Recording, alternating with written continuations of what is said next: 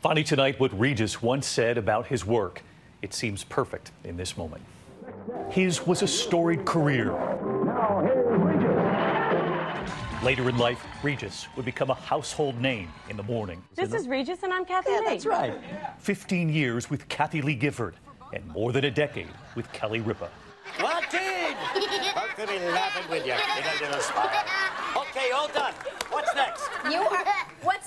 What's next is you're going to shampoo these kids. Kelly paying tribute this week, remembering Regis and his self deprecating nature. He was always the foil of his stories. You know, he would tell a story, and he was always the person that failed in the story. A lot of people build themselves up to be like the great heroes of their stories. He, He would was so make sure that he was so self-deprecating. And on his final day on the show, Kelly remembering their 43 steps together every day. You will stop in front of dressing room one and shout at the top of your lungs, oh, yeah, Harrison Ford, take a look at what I get every day, whether I want it or not. and God love him, I swear to God, Harrison Ford has no idea who I am. And that very first walk with Regis and his gift. I was terrified.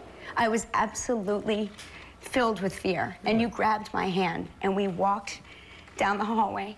We came out in the door and the audience leapt to their feet and they were cheering and screaming. And you pulled, you did something for me. I've never told you this, but you pulled me in and you said, You see that, sweetie? That's all for you. All these people are here for you. Well, they were. It wasn't true. I look forward to the next 43 steps, and may they fill you with the joy that you filled all of us with oh for all of Gosh, these years. Listen to this. Oh my gosh, that's very sweet. Thank you. honey. Regis would set a Guinness World Record for the most time on camera. And Katie Couric asking about his legacy. I hope to be remembered most for 17,000 hours in front of a television camera. Is that enough for you? that works.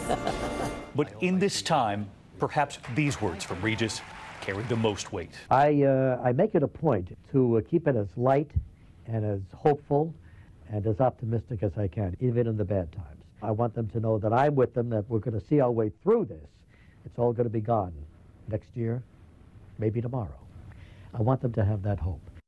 to have that hope. And we're going to celebrate Regis Philbin, the Morning Maestro, just a short time from now, 8 p.m. Eastern, right here. Until then, good night.